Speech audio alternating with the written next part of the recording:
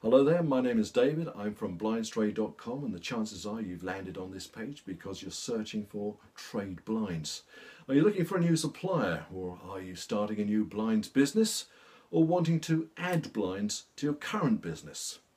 Well, after being let down by suppliers too many times who were basically overcharging us, we actually decided to start manufacturing our own blinds.